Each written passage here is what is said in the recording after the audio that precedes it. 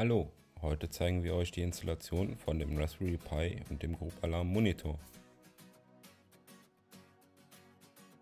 Dazu öffnen wir den Blog-Eintrag Einsatzmonitor zur Einsatzvisualisierung auf groupalarm.com und scrollen etwas herunter. Hier findet ihr das Image für den Raspberry Pi.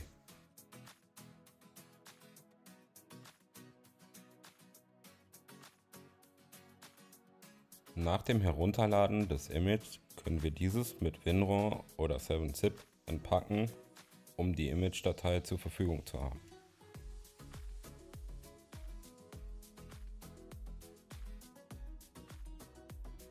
Nach dem Entpacken können wir WinRAR schließen und können das Programm Win32 Disk Imager öffnen und unser entpacktes Image auswählen, um dieses auf die SD-Karte zu schreiben.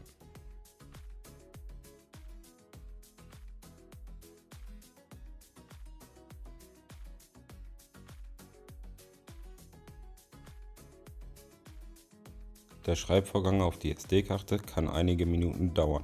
Wir empfehlen hier eine schnelle SD-Karte zu verwenden.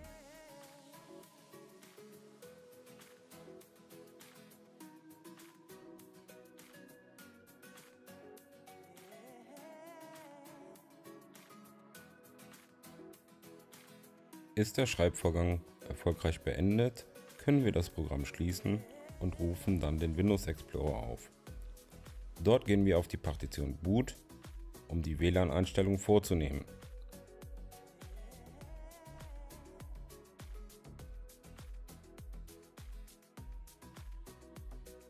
Wir entfernen in der Konfiguration die Rautezeichen und tragen unseren WLAN-Namen sowie das WLAN-Passwort ein.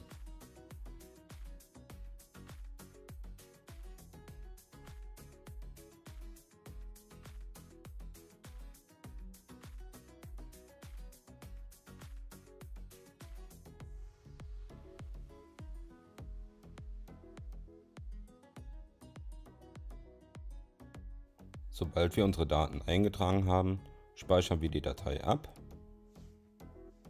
und verlassen den Editor. Danach öffnen wir die Full-Page-OS-Datei, wo die URL für den Monitor eingetragen wird. Dazu öffnen wir den Monitor und kopieren diese URL in die Textdatei.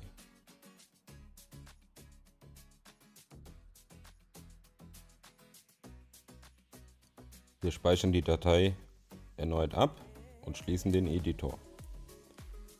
Danach kann die SD-Karte ausgeworfen werden und in den Pi eingelegt werden. Wird der Raspberry Pi an die Stromversorgung angeschlossen, fängt diese automatisch an hochzufahren.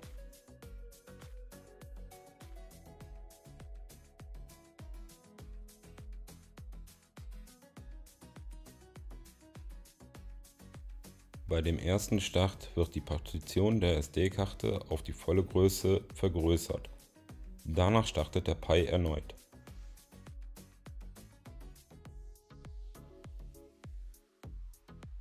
Sobald der Bootvorgang beendet ist, startet der Raspberry Pi automatisch den Monitor von Grupalarm.com und der Pi ist fertig eingerichtet.